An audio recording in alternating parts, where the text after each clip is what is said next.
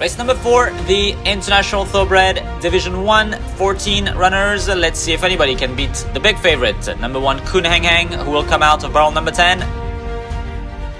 We're set to go.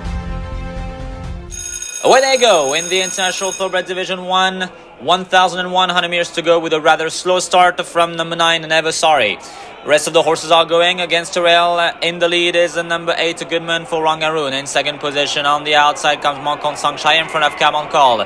The favorite Khun Heng Heng holds on to fourth position. Here comes the number 5 Moncon Olan in fifth position in front of Adam Armstrong and 1 Moncol. Next follows the Party Tongshai in front of number 14 Macau Charan. Mid-final turn. It is a Goodman who is still in the lead for Rangaroon. On the outside comes Kao Monkol. Khun Heng is in third in front of number 5 Monkon Alan.